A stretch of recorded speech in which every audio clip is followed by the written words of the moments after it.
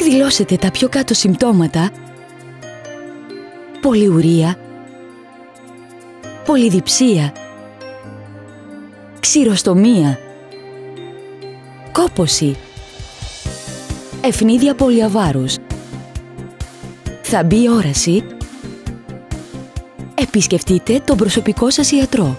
Ίσως τα συμπτώματα αυτά να σχετίζονται με το διαβήτη.